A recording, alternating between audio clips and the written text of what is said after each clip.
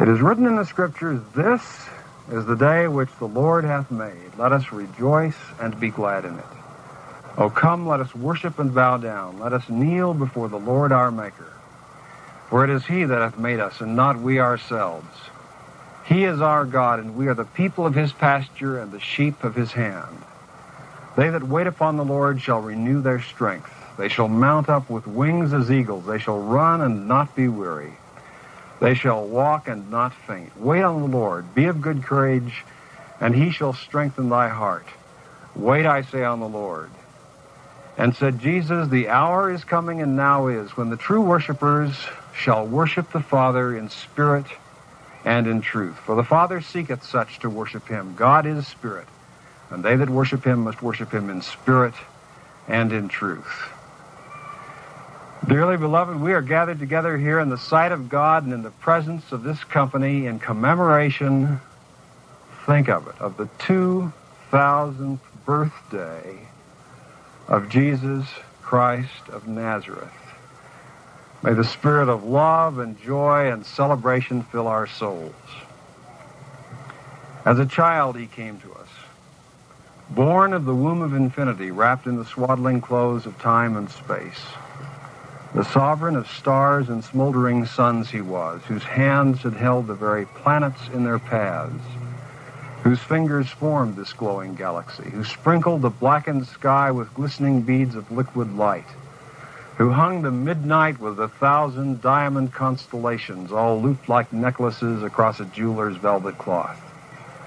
As a child he came to us, born much as all men are born, and dying much as all men die, but living not at all as all men live, for divinity surged in his veins. In Jesus, humankind got a glimpse of God as never prior nor since. And we have not forgotten it. The world can never be the same again. For we have seen what God is and have seen what man can be. I wrote some years ago a song about the birth of Jesus. This child of heaven born of earth who slumbers at his mother's breast is God and man, and by his birth shall all of humankind be blessed. This child of heaven, frail and weak, who slumbers in this midnight hour, shall one day stand and stride and speak in godly, manly, mighty power.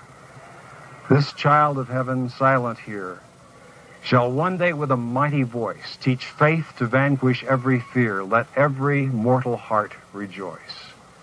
This child of heaven, born of earth, who slumbers at his mother's breast, is God and man, and by his birth shall all of humankind be blessed.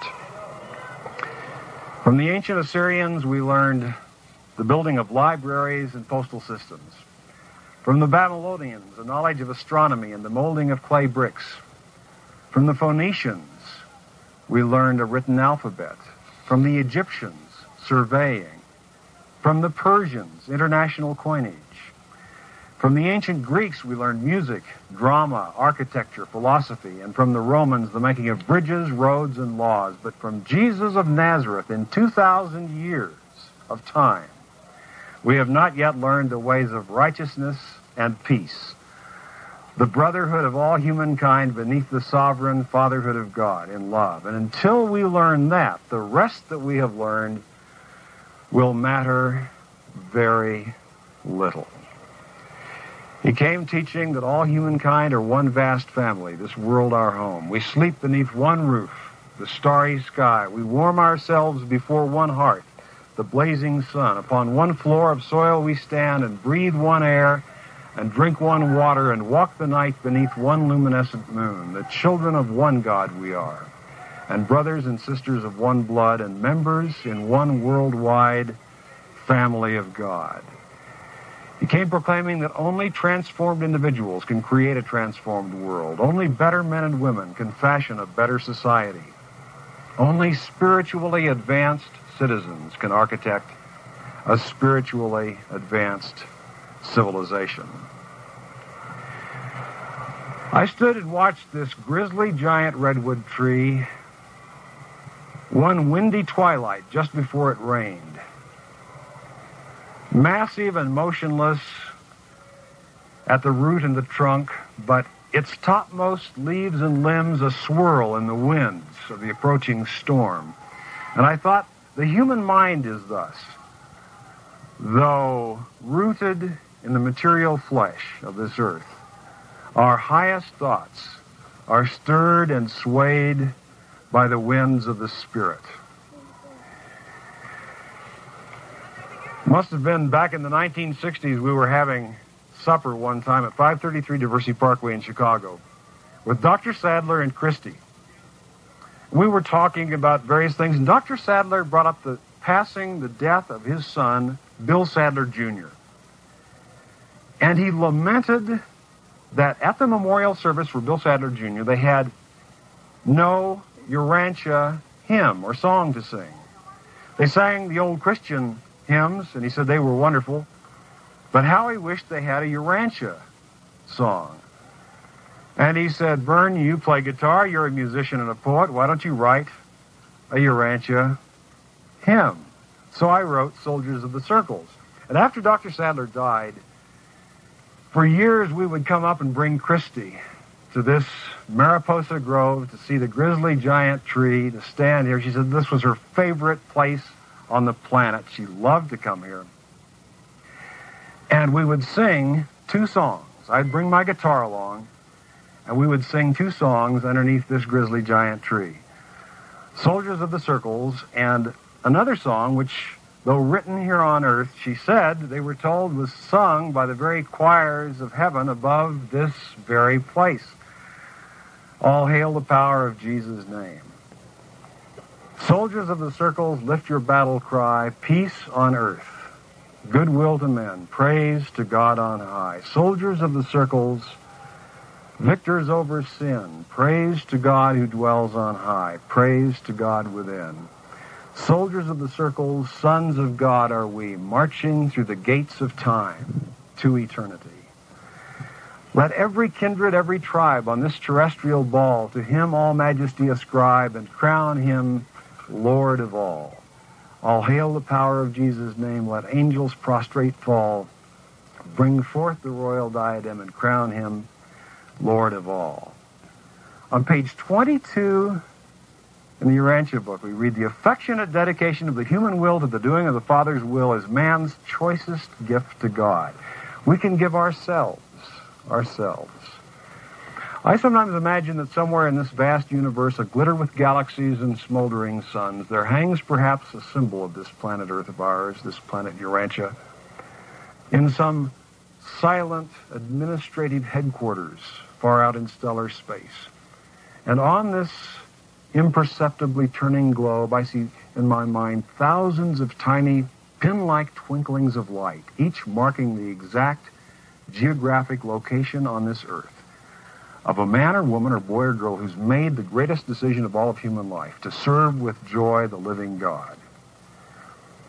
Who said to God, I'm willing to go anywhere, do anything, and be anything. You want me to go and do and be, take me, use me. On every continent and country, pole to pole, from ice caps to the islands of the sea, I imagine those pinpoint twinklings of light.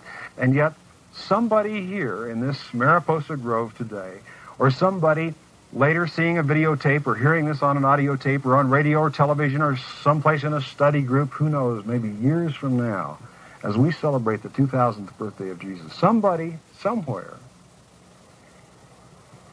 may make that greatest choice of all of human life in this very moment as we celebrate it with them. And somewhere in my mind, I think I see another pinpoint twinkling of light appear upon a darkened globe. 2,000 years ago and more, the emperor of Rome was one Tiberius Caesar. He was the most powerful and wealthy man on earth. Servants scurried to do his every bidding. The fates of men and nations were settled with a snap of his fingers. He ate from golden plates. He drank from gilded goblets. He was attired in rich and royal raiment. He was the most powerful and wealthy man on earth. Servants scurried to do his every bidding. But was he happy? I read in the writings of Pliny, the ancient Roman historian, writing about Tiberius. These are his exact words, quote, he was the gloomiest of all mankind. But during this same time, during the time of Tiberius, there lived this young son of a carpenter I read about one time in a big blue book, who journeyed across the land and taught faith and hope and love, taught the fatherhood of God, the brotherhood of man, the sisterhood of woman, the love of God and others. Said, You shall love the Lord your God with all your heart, soul, mind, and strength. You shall love your neighbor as yourself. The kingdom of God is within, a fragment of infinity, a glowing ember of eternity, a spark of the divine indwells the mortal mind. There's an enshackled splendor burning inside each one of us. Taught the will of God, that God has a plan for this planet and a purpose for human life. It's not all just some blind, staggering, aimless, captionless cartoon. There's a reason and a purpose behind it. When we pray, Thy kingdom come, Thy will be done, that's what we're praying for, to align and synchronize the human will with that. And he taught eternal life just as a bee goes from flower to flower gathering nectar, so we are destined one day to voyage from star to star gathering light. He said to that woman at Jacob's well in Sychar, there shall be a well of living water welling up into everlasting or eternal life. Taught loyalty to supreme values, truth and beauty and goodness. Blessed are you, he said, when you shall hunger and thirst after righteousness, for you shall be filled. Seek and you will find. Knock and the door will be opened. Ask and you will receive. It's not the quest for perfection. Be you therefore perfect as your Father in heaven is perfect. But he didn't say we had to have it accomplished by next Tuesday. We have this great eternal regime lying before us. And he said these words of comfort. He said, Fear not. Be not anxious. My peace I give to you. I've come that my joy might be in you and your joy might be complete. I've come that you might have life and have it more abundantly. Be not afraid. Have faith in God. Those four words alone could transform every human life. And who, on the very night before he was to die, declared to his assembled followers, on the night before he was to die, he said, be of good cheer. I have overcome the world. That's who we're celebrating this day, the 2000th birthday of this Jesus Christ of Nazareth. And if we're true to our trust, they who stumble by starlight shall one day see the dawn. They shall stand in a gold molten morning of light when truth burns like a coal of fire, a flame on the rim of a twilight world, and all the sky is caught ablaze with the sunrise of new day. They who stumble by starlight shall one day see the dawn. Our little planet plunges through the night of twilight space toward the light. Because you and I, as we gather here on this 2000th birthday of Jesus, we are ambassadors from the future. We are ambassadors from the future. We have read about the paradise and the bonus systems. We know what is to come. We've read about the Morontia realms and the mansion worlds and the ages of light and life. We're ambassadors from the future to this present day and hour and called to help make it new. Jesus said, By this will all men know that you're my disciples. What? That you have three circles on your lapel? By this will all men know that you're my disciples, that you have a membership card in your purse or your billfold. By this will all men know that you're my disciples, that you have a five pound blue book under your arm. He said, By this will all men know that you're my disciples, that you love one another. That you love one another. Unity without uniformity. We'll never have uniformity on everything. People will not think the same. But we can love each other says in the Urantia book we're even supposed to love our enemies. I say, just for practice, why don't we try it out on our friends from time to time? We're called to this, to love, forgiveness. We look back to Jesus and the apostles, Mary Magdalene and the women's corps, Matthew, Mark, Luke, and John. We think what a time that was to be alive, but mark well my words long centuries from now, there will be people who will look back to us, to our time, to this very day, the first and second generations when this fifth epochal revelation was given, and who are going to say about us, what a time that was to be alive. Someone says, but there's division and there's ill will and people are arguing and fighting. But we were called to the kingdom, for such an hour as this. We were not called for a hundred years or a thousand years from now or 2,000 years ago. We were called for this hour. We were called to the kingdom for such an hour as this. To call to help make it new. To be willing to go anywhere, do anything, and be anything. God calls us to go and do and be. To turn our life and our will totally over to God. The greatest gift we can give on this 2000th birthday of Jesus. And if we'll do that, then there shall dawn upon this planet a divine dominion, the brotherhood of all mankind beneath the sovereign fatherhood of God, such a new age of worldwide goodwill, such a kingdom of kindliness and love, as shall make the mightiest empires of this earth seem frail and foolish in comparison. And then shall the glad tidings echo forth from the peaks of the Rockies to the slopes of the Himalayas, from the velds of Africa to the valleys of Nebraska, from equator to ice cap, from sea to surging sea shall ring the shout, peace on the earth, goodwill to men and women. God's love knows neither longitude nor latitude. All humanity are one. All humanity are His. All humanity are brothers and sisters. That's the day for which we work, and we're called to work to bring that day to be when the nations shall beat their swords into plowshares and their spears into pruning hooks, and the world shall not learn the ways of war anymore. All hail the power of Jesus' name. Let angels prostrate fall. Bring forth the royal diadem and crown him Lord of all. Let every kindred, every tribe on this terrestrial ball to him all majesty ascribe and crown him Lord of all and crown him Lord of all. Happy birthday, Jesus of Nazareth, on this your 2000th birthday. What a joy to be here. Let's take a few moments in silent prayer meditation and worship to thank God for the life, the ministry, and the teachings of this wonderful elder brother, Christ Michael of Nebadon, Jesus Christ of Nazareth.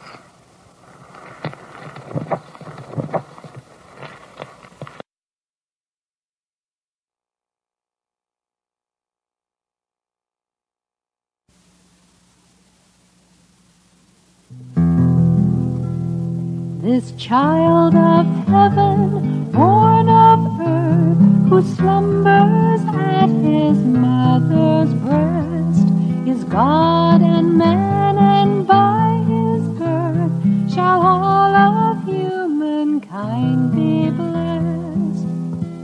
This child of heaven, frail and weak, who slumbers in this midnight hour, shall one day stand and stride and speak in godly, manly, mighty power. This child of heaven, silent here, shall one day with a mighty voice teach faith to vanquish every fear. Let every human heart. This child of heaven, born of earth, who slumbers at his mother's breast, is God and man, and by his birth shall all